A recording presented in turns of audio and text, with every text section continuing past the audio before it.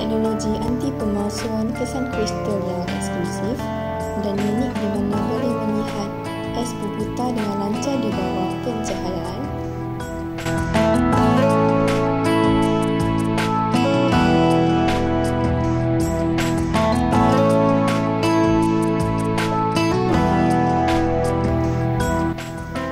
Pengimbas menggunakan aplikasi pengimbas kod QR seperti WeChat.